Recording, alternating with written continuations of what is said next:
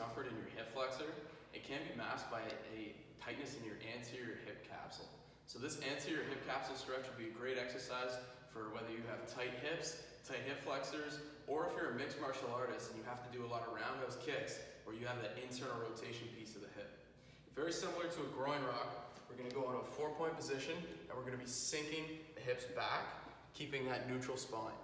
The only difference with this exercise is we're gonna kick one leg out to the side to bring that leg, that hip into internal rotation. Sitting back onto our heels, we're gonna keep everything the same, keeping that spine neutral,